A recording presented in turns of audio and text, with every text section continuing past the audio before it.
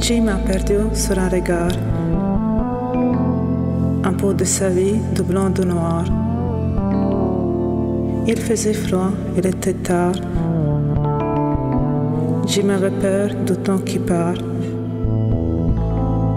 qui brûle tes rêves, tu désespoir. Ce métronome impitoyable joue ton destin te rendre coupable. Ainsi affaibli, résigné, Jim a cessé d'imaginer. Jusqu'à ce jour, ce vendredi, où d'un regard il faut conquis. Jim était moi et mes envies. Elle était toi, l'ange de ma vie. Et j'ai perdu sur ce regard